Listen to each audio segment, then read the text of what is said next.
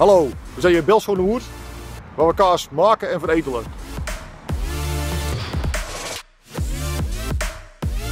Wat me echt aantrok was de techniek. Ja, je krijgt de, de, de kennis en de, de, macht over een machine. En je, ja, het is een soort je eigendom.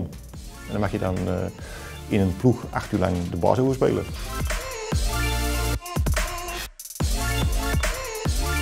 Dan stel je de machine stel je af op een uh, bepaalde kleurkeuze. En je kijkt in je administratie, die je planning heeft aangeleverd, wat je gaat doen. Ga je bijvoorbeeld een kaas alleen maar dus een laagje coating geven.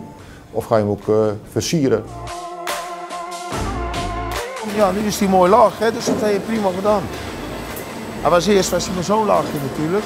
Wat we hier doen is kaas maken, kaas rijpen, kaas verpakken. Dus we hebben hier eigenlijk uh, van alles wat. Je ziet hier echt vanaf de koel tot aan de vrachtwagen kan je volgen het proces. Het leuke aan praktijkopleider is dat je dus mensen begeleidt en ziet dat ze dus gewoon beter worden.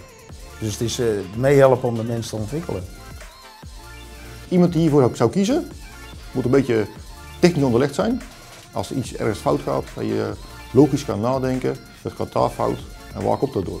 Als ik boodschappen doe en ik kom in de winkel, ik kom bij het kaasschap, kijk ik altijd hoe het eruit ziet. Eerst naar ons eigen merk en dan naar de concurrent. André vindt het werk leuk en ik vind het leuk om te begeleiden. Dus dat is bijna 100% succes, zeg maar. Dit is ons product. We proberen een mooie kaas af te leveren en hier doen we het voor.